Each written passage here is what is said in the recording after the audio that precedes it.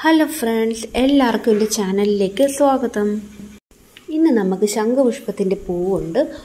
Blue tea ഉണ്ടാക്കാം പിന്നെ juice ഉണ്ടാക്കാം. അപ്പോൾ അതിനായിട്ട് ഞാൻ എന്താ കുറച്ച് പൂക്കളൊക്കെ പറിച്ചെടുത്ത് ഇനി നമുക്കിതിനൊന്ന് കഴുകിയെടുക്കണം. എന്നിട്ട് നമുക്ക് വെള്ളം തിളപ്പിക്കാനായിട്ട് വെച്ച് കൊടുക്കാം. എന്നിട്ട് ഈ കഴുകിയ പൂക്കളൊക്കെ നമുക്ക് അതിലിട്ട് നന്നായിട്ടൊന്ന് തിളപ്പിച്ചെടുക്കണം. പണ്ടൊക്കെ ഈ പൂക്കൾ എല്ലായിടത്തും നിൽക്കുന്നത് കണ്ടിട്ടുണ്ട്. വഴിയിലൊക്കെ ആയാലും വേലിയിലൊക്കെ അന്ന് നമുക്ക് അറിഞ്ഞൂടല്ലേ ഇപ്പോഴല്ലേ ഈ പൂവിനൊക്കെ ഇത്രയും ഔഷധ ഗുണമൊക്കെ ഉള്ളതാണെന്നൊക്കെ നമ്മൾ അറിയണത് ഇത് തിളച്ച് തുടങ്ങുമ്പോൾ തന്നെ കളറൊക്കെ നല്ല അത് നല്ലൊരു ബ്ലൂ കളറായി വരും. അപ്പോൾ നല്ല ഭംഗിയാണ് ആ കളർ കാണാൻ തന്നെ. ഇത് നന്നായിട്ടൊന്ന് തിളച്ച് വരുമ്പോഴത്തേക്ക് ഇത് നല്ല നല്ല കടും കളറാവും. ഇനി നമുക്കിതിനെ രണ്ട് ഗ്ലാസ്സിൽ ഒഴിച്ചെടുക്കാം. ഒന്നിനെ നമുക്ക് ടീയും ആക്കാം. പിന്നെ ഒന്ന് നമുക്ക് ജ്യൂസായിട്ട് എടുക്കാം. പിന്നെ ജ്യൂസ് ഉണ്ടാക്കുന്നതിൽ നമുക്ക് തേനുണ്ടെങ്കിൽ തേന് ചേർക്കാം. ഞാൻ തേനില്ലാത്തതുകൊണ്ട് പഞ്ചസാരയാണ് ചേർത്തിട്ടുള്ളത്. അപ്പം നമുക്ക് മധുരത്തിന് ആവശ്യത്തിന് പഞ്ചസാര ചേർത്ത് കൊടുക്കണം. ഇനി അതിലേക്ക് നമ്മൾ രണ്ട് സ്പൂണ് ലെമൺ ജ്യൂസും കൂടെ ചേർത്ത് കൊടുക്കാം.